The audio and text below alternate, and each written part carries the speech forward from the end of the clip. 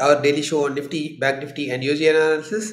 Uh, so let's start this by reviewing what we predicted yesterday, what happened today, and then we'll try to get a sense of what will happen tomorrow from the price action today. To do this, we'll review charts, we'll review uh, FI data, DI data, we'll review option chain data, and then we'll form an informed opinion on what exactly the market is planning to do. Right, so uh, you know the drill. So let's get started in earnest. Now, the first thing which strikes me when I look at today's market is that today we tested the 100 DMA, and here's the important part there was a channel upward trend sloping channel here, right?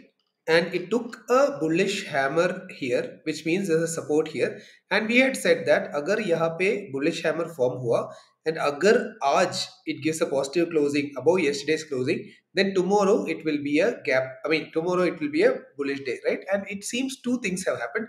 One, there's a support here, 100 DMA, there's a channel here, then there is a candle here, which is a shooting star, sorry, bullish hammer. Support 200 DMA, price rejection at the support, breakout of this triangle, uh, then uh, the confirmation of the bullish uh, hammer, and then a close in which we saw absolutely no price rejection from the 200 DMA. So here's the important thing, right? If you look at all these candles, which rejected from 200 DMA, they all have rejections. They have wicks, right? You can see this thing. This is called wick. The dhaga, the, the thin line, which is a wick, which means nobody allowed price to settle there. Today's closing does not have a rejection. It closed on the 200 DMA. So there's a very, very high chance that tomorrow we'll see a gap up or tomorrow we'll see like a big open. I mean, basically tomorrow is a bullish day, right? Because why? Bullish hammer, followed by confirmation, a close with no rejection at 100 DMA, breakout of this triangle. Like there are so many things. Like I mean, there are just things and things and things, and now it isn't back into this upward sloping channel. In fact, I, I'm like wondering why am I even you know like this is very clear, right? Upward trending channel ke bottom pe jaake we found a support and we found a 200 EMA and we got a price action candle and we got a confirmation to that and then we did not get any rejection from a resistance this if this is not bullish i don't know what is bullish. Right? So expect um, support at channel bottom.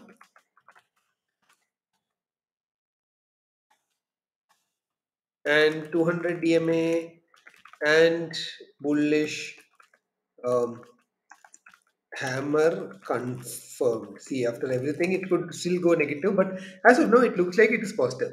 Now let's look at open interest data. Today, everybody. Ah, now I see what's the problem. This is coming in too soon. Okay. Now, one problem is everybody sold puts today, right? Look at this 13 million puts added. Option chain overall looks neutral. The first real resistance it is 17500, but the problem is this, right? If 17500 breaks, then there is nothing after 17500 till 18000, right? Because all of this, look at it, there 600, 700, they are all empty. So 17500 is the first realistic resistance, but uske baad there's nothing. Uh, and I'll be very careful about, like yesterday we said, right? We won't hold any shorts here. Put writing massive. PCR is at one, which is bullish, and FII data that's actually confusing because they bought calls and puts both. I don't know why, but definitely three times as many calls. Index futures 700 crore positive. FI, DI, FI is neutral when it comes to long term stock buy. So these three things are again in place.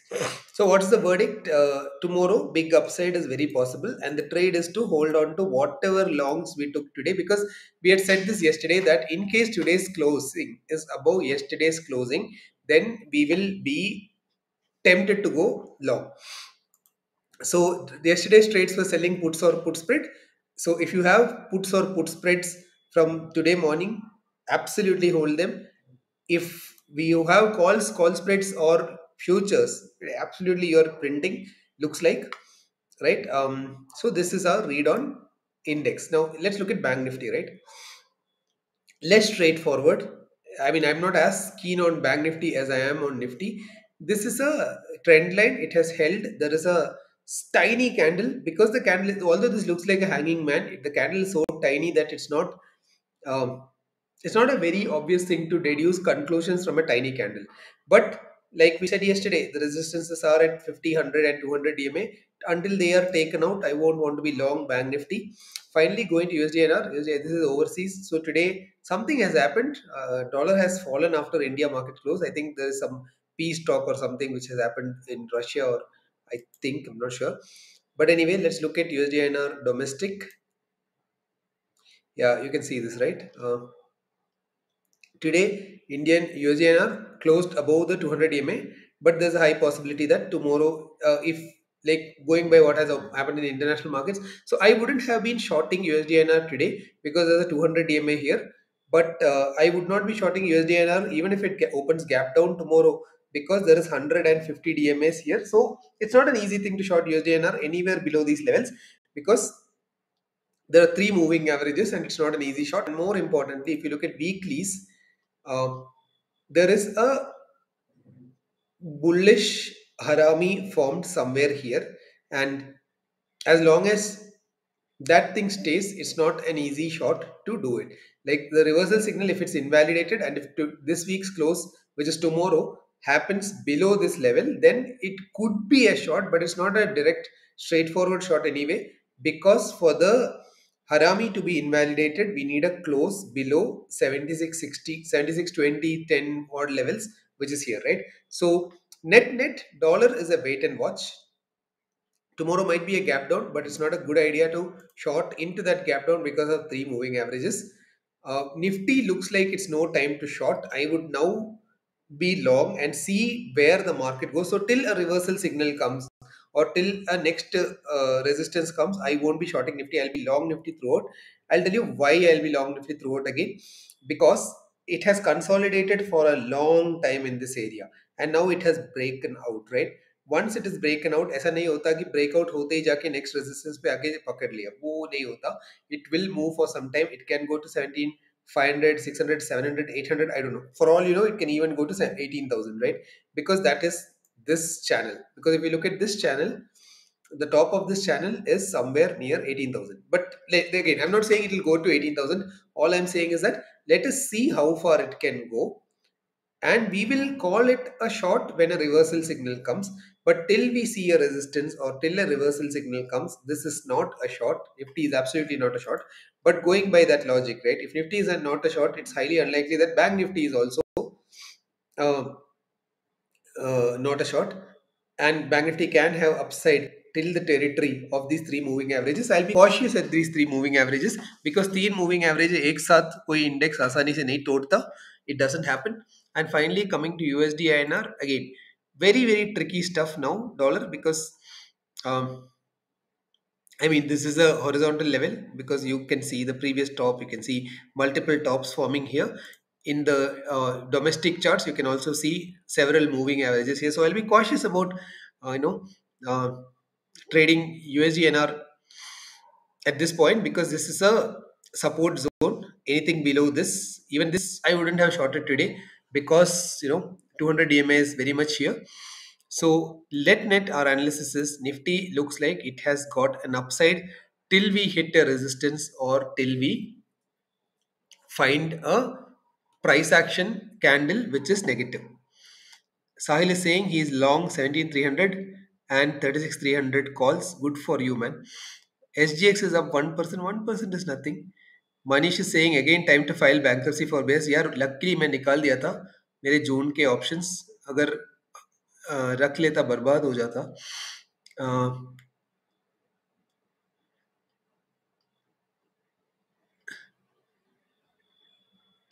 Yeah, so just reading the user comments, so sorry. Yeah, I mean, basically everything about Nifty right now is uh, 17500 to 17600 zone or more. Basically, till a resistance comes and till we see a negative price action candle like uh, you know shooting star or bearish engulfing or something, it is not a market to short. And मेरे को लगता है थोड़ा और upside जाएगा so tomorrow's closing is more important. I agree, Sahil. So because this is the last day of the week, I'll also analyze what it means if we have a yeah, this is interesting, right? So tomorrow, if we have a close, uh, one second, sorry. So look at this, right? Last week this was the candle, then we have a pausing candle. But tomorrow, if the close is above last week's close, then we can see continued bullishness in Nifty. Basically, weekly candles are also pointing towards bullishness because if this was a breather pauser candle and if yesterday's when this week's close is above this we can see continued action in nifty uh, and finally looking at the monthly candle this is also month end close which is super important this is uh, tricky because see on the one hand you can say that uh, this is a bullish piercing candle. On the other hand you also have to be cognizant of the fact that yahan ek bullish engulf bearish engulfing hai. So now the battle is essentially between this bearish engulfing cut top which is somewhere around 17500 7600 and if this candle now closes tomorrow above 17550 levels and in then this bearish engulfing candle is invalidated then there will be continued upside in nifty. It can go you know quite a bit maybe 17 18000 also. That's not very difficult. Because why? This is a doji this is a bearish engulfing this is a bullish piercing so far. Tomorrow last day of the month if it closes above 17500 um, sorry tomorrow last day of the month i mean to say almost near the last day of the month uh, uh, we could say that if this momentum continues and 31st thursday if it closes above then we can have a bullish engulfing and continued bearishness. Uh, the same applies for weekly. Weekly is already forming a close above this. So if it continues then the top of this is taken out and this week closes positive which means next week will have continued uptrend. So basically long story short uh, nifty is uh, up and let's not short nifty at this point. Uh, oh somebody is saying tonight is important because oh the treaty is not done is it? Acha, okay. I thought the uh, treaty is done. Yeah pranav you're right. We still feel we'll come back to the bigger wider channel and see 15000 16000 in the short in a few weeks. But of course we can't predict. We can only react here. So yeah that's true. So anyway that's our analysis for today. Uh, thanks so much guys for joining. We'll see you again tomorrow. As usual uh, please don't trade because somebody in youtube who might or might not know what he's asking talking about is asking you to trade. The most important thing is that we trade with data we trade objectively we trade with bet sizing which is very important. And most most most important we trade in a way that keeps our capital safe. So thanks again guys for joining. Please have a great profitable trading day tomorrow and have a brilliant expiry this week. Uh, so till we meet again good night and take care. Bye